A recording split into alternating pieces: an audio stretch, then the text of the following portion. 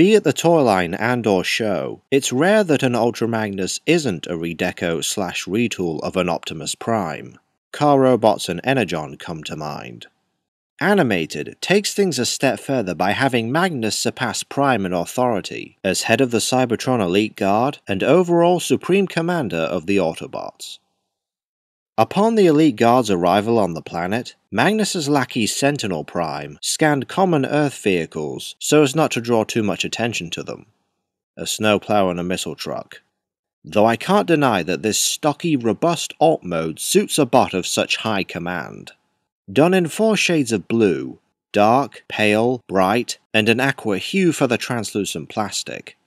You also have spots of black, yellow, red, as well as a few metallic paint apps here and there.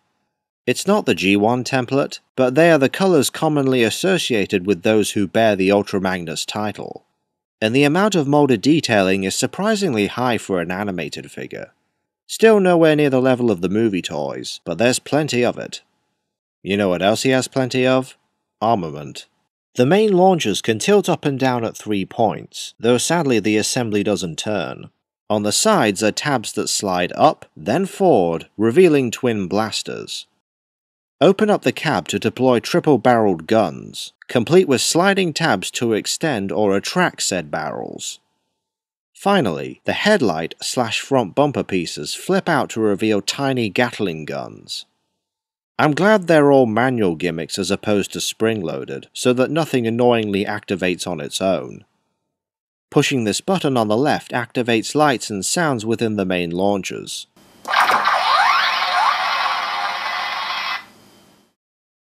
Magnus's transformation is much more complex than Megatron's.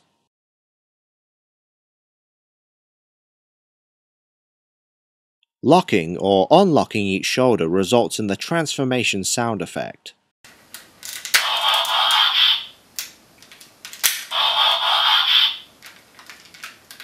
For the record, those cab halves fold up on incredibly stiff hinges. Needless to say, it's a royal pain.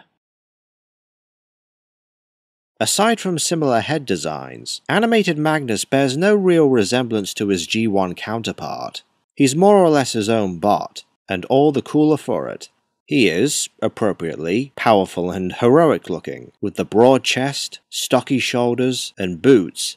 Some have complained that the shoulders are set too far back and should be in line with the main body. It's odd, I'll grant you that, but from the front, you can't tell, honestly. Magnus has 19 points of articulation, like Beast Wars Tigerhawk, he's missing more commonplace joints, like wrist and waist rotation. Still, at least he isn't back heavy like the Emissary, or animated Megatron for that matter. All weapons still deploy, even the main launchers can rest on his shoulders. Of course, Magnus also comes with his hammer stored in the back of the truck. Pull up its head and it expands. He can grip the handle above or below the hinge in which it folds out, though there is a tab on the upper half that plugs into his palm. I wish the shoulders were on slightly stronger ratchets so they could support the weight better, otherwise he wields it just fine.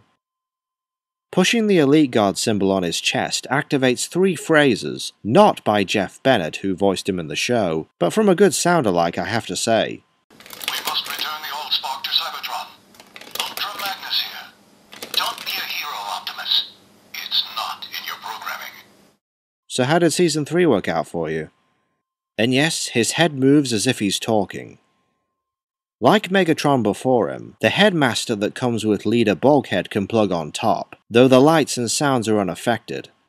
Not to mention, this never actually happened to Magnus in the show. Sentinel wasn't so lucky. Similar to Tigerhawk, animated Ultra Magnus is a fantastic looking figure that's positively armed to the teeth. The shoulders need some work, but that's it for major complaints.